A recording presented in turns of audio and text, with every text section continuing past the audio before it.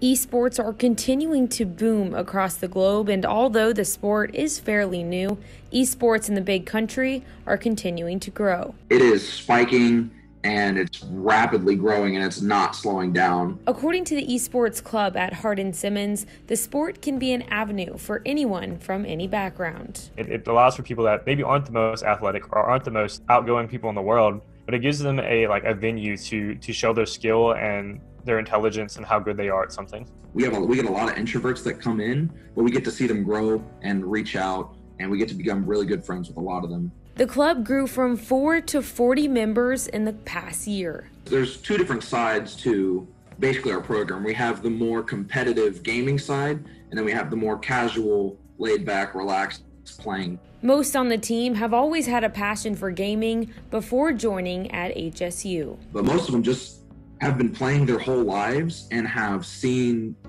professional players play and are encouraged to do exactly what they're doing. So they want to get play professional, and we get to basically host that. The best example of the growth of the sport is from the World Cup last year.